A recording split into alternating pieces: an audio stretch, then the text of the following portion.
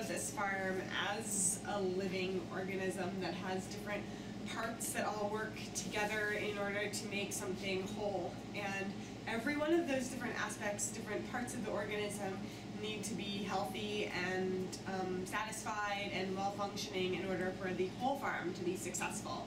So when one part maybe is struggling in a way, if the soil isn't up to par, if the pastures need attention, or if there's a sick animal, or even the humans that are involved, if there's a sick person, or if there's uh, infrastructure that needs to be replaced, um, you know, renovation for a barn or something like that, that all plays into the whole piece of the farm. And so everything needs constant care and attention and love in order for the farm to be successful. There's a lot going on here for sure. Um, and it can be a challenge to have such a diversified farm with so much going on, but it's a challenge in the most amazing way. And I wouldn't trade it for the world because I think that all the different parts of what we do coming together make this place really exciting, make it fun.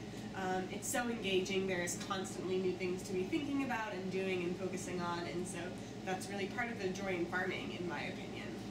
We're renovating an old barn on the farm right now, and the purpose of that barn will be twofold. One will be to use it as a community space, um, because we really want this farm to be uh, open to anybody. And we want the community to see this farm as not only a place that produces food, but a place that's welcoming for them to visit and spend time and share with their friends and family and really have a gathering place. So that the barn can be used for classes and book clubs and groups and birthday parties and can also be used uh, on the flip side for renting out for some larger events. So for weddings or family reunions or um, big celebrations, um, we'll be able to rent out the barn and bring in additional revenue for the farm, which will help support us financially, which is obviously important to the business. Will also just be a beautiful place for um, people to gather and to celebrate.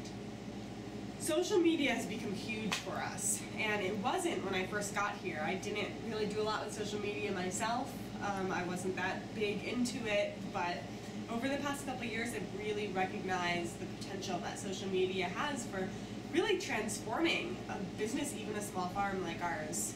One of the things that I love about social media is that it gives the opportunity for other people, even people who don't live right in this area, to feel engaged and connected to what we do. We're a really open farm and we love for people to come by and visit.